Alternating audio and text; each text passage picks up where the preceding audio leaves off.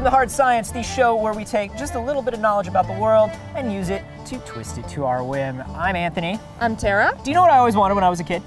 Uh, hoverboard from Back to the Future. Yes! Yes, right? Yes! It's a thing. It's, well, it's not a real thing. But what I also wanted was a hovercraft. And I always used to ask my dad, can we build a hoverboard? And he'd be like, no, that's not real. You're being scammed. But guess what? It's real. This is precision German style engineering.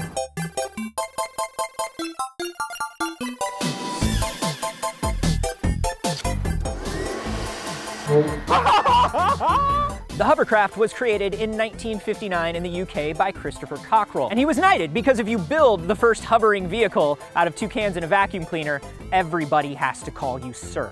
Hovercrafts work by using a cushion of pressurized air underneath them. The air is contained in a skirt, and the skirt is what reduces friction and allows the hovercraft to glide freely over smooth surfaces. A hovercraft can glide from land to ice to water without losing any speed. A hovercraft only exerts about 0.1 pounds per square inch of ground pressure, whereas Anthony exerts about 8 pounds per square inch of pressure. What that means is that we can probably run him over in a hovercraft and he'd be totally fine.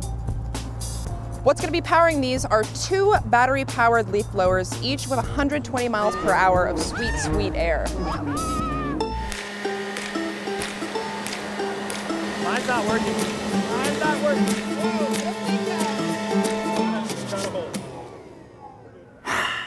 Well, that was a miserable failure. So much gravel.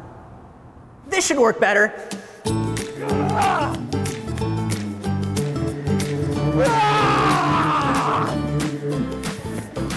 I want you to take these magic bowling glasses. You knocked over every pin. And do you want to know what? Those aren't magic glasses. The magic was in you all along. You were so lame. You're going down. So were you. I don't see how that Just go. One, two, three, go! Go! No! No! No! No, horse! You're never gonna work in video again, horse!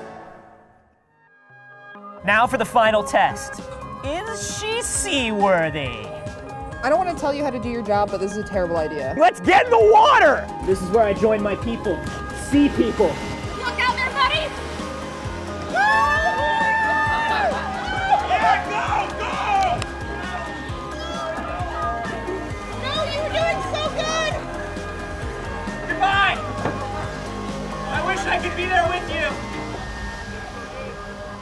You. Are so stupid. For like two seconds, you looked really cool. Yeah? Yeah. That's longer than I've ever looked really cool in my life, so worth it. Uh, if you guys have a crazy idea like this that you want to see put into reality, something in your mind that you just want out there in the world, we did this for 150 bucks. You would be surprised how simple it is to make your dreams come true. You can just tweet all your crazy ideas at us. I'm at A Carboni. I'm Tara Longest. And you can watch more of our videos at testtube.com slash hard science. Don't don't touch me. Hey girl, Oh. you look real dry. Somebody get this man a towel.